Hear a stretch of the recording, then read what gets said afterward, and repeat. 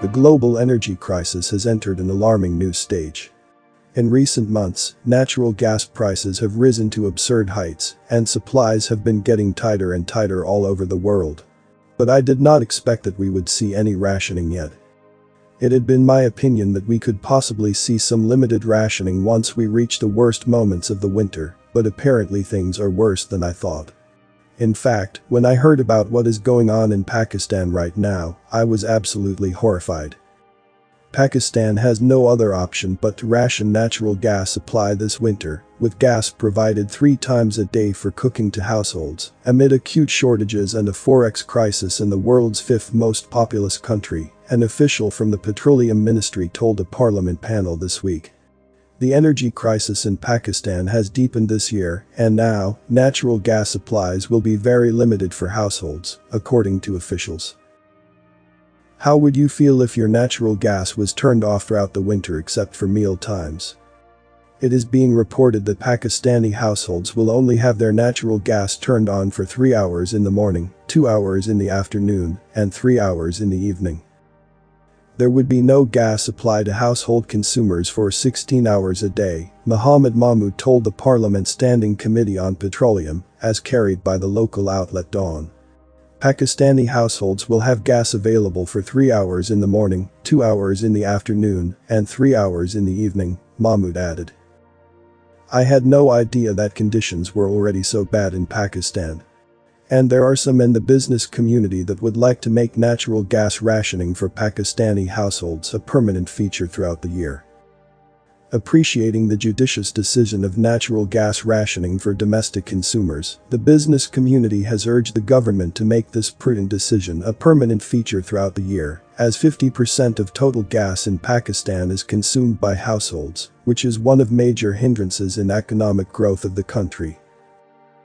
With prices for imported natural gas being so high, it is probably inevitable that other poor countries will be forced to implement similar measures. Needless to say, that is really really bad news. Thanks to relentless stockpiling ahead of time, things will not be quite as bad for Europe this winter as many had originally anticipated. But Europeans could still be facing occasional blackouts, and they will definitely have to deal with sky-high energy bills. In 1972, natural gas exports from the Soviet Union accounted for around 4% of European gas consumption.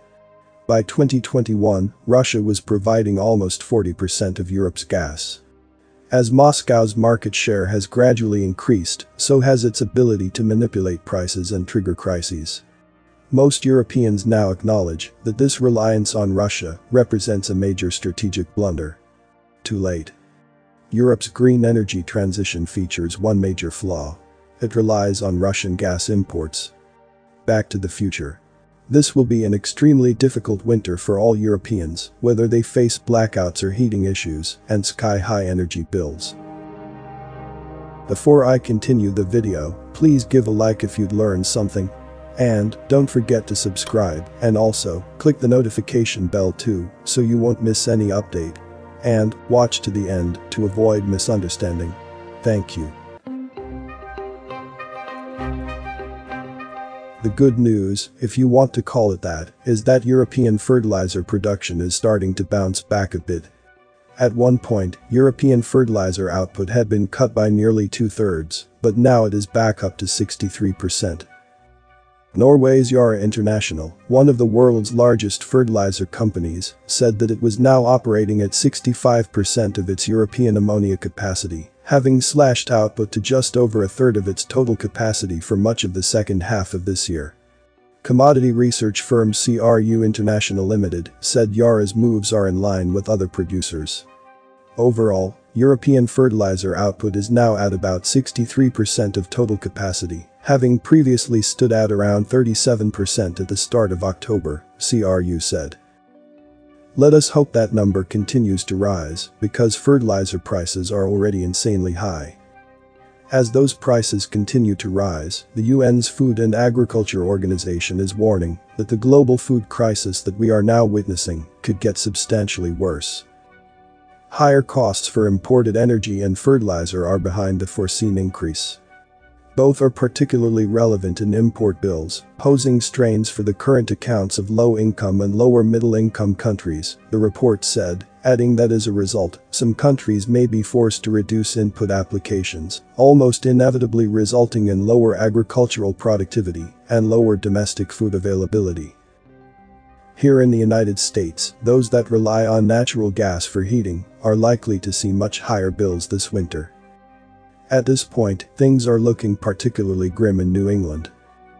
With the global natural gas supply stretching thin, Eversource and other utility companies have been sounding the alarm. Bills have already been going up for some.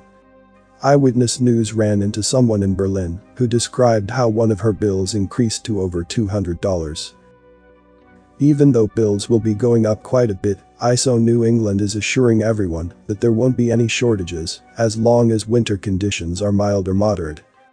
While Eversource has sounded the alarm, ISO New England, the region's electricity grid operator, is still saying we should be okay for the season. ISO New England said there's enough supply for mild and moderate winter conditions. Unfortunately, Eversource is not as confident.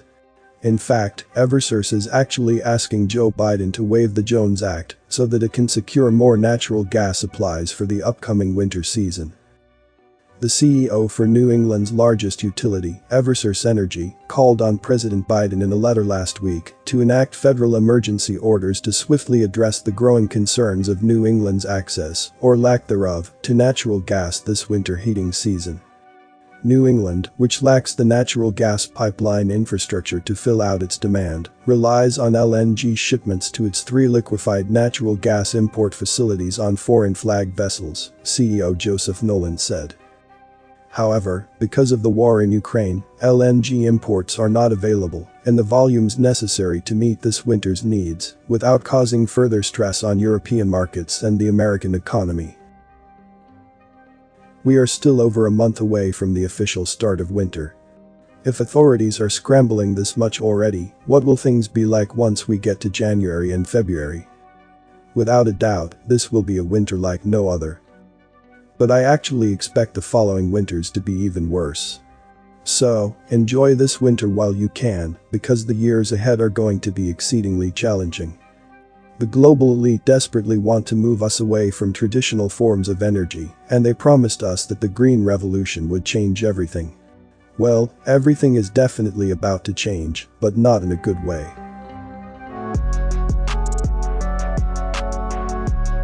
What do you think about this video? Please like and share this video if you like it, so that more people are aware of what is happening in this world. Before I end this video, let's say thank you to everyone who took the time and energy to research this, they have done a lot for us all. Please subscribe to watch the next upcoming videos. Thank you for watching the video until the end, I hope this information is useful for all of us. See you in the next video.